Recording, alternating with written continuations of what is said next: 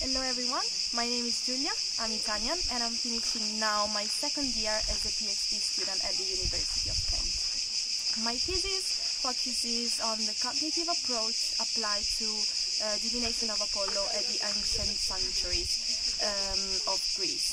Specifically, I'm focusing on Delphi, which is my main case study, and then I'm gonna compare Claros and Didyma to uh, the Delphic sanctuaries, which is where I am right now. And the particular thing about my research is that I'm, I am investigating the neuroscientific aspect of divination. So I'm trying to understand the cognitive impact that divination has on, um, on the Pythia and on the visitors of the sanctuaries. So I first did my undergrad in Italy, but then during my third year I decided I wanted to try something uh, new and I decided to go abroad for my Erasmus year at the University of Kent. And after that year I fell in love with the place and with the university, so I decided to stay in England.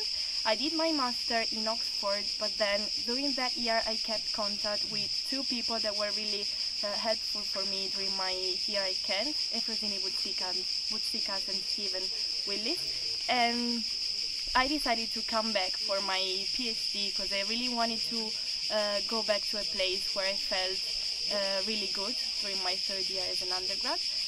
And I really miss the atmosphere at SECL and at Kent in general. And I also felt like uh, Kent was a good place for me to develop my research for the innovative approach that Efrosini Boutsikas has on archaeology. I'm really enjoying my life as a PhD student and I wasn't sure at the beginning if academia was my career path or not, but after starting um, my PhD here at Kent, I actually decided that this was um, what I wanted to do in life because I really feel like I'm loving this um, PhD every single day.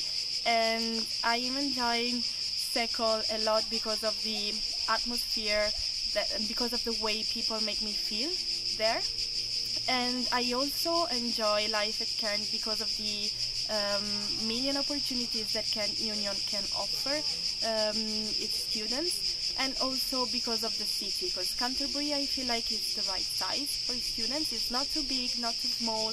There are plenty of things to do in the city center.